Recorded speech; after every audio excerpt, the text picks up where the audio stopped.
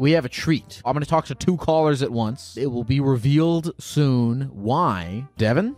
Yes.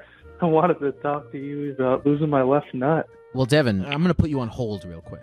Yeah, no problem. Hey, is this Tommy? This is Tommy. What is it that you would like to talk about today? I am 28 and I have one testicle. Tommy, I have a caller on the other line who also only has one testicle.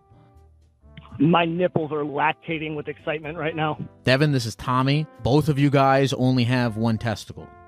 What's up, Tommy? How are you, brother? My one nut fam. One quick question. Do you have the left or the right one? I have the left one. Dude, I have the right one.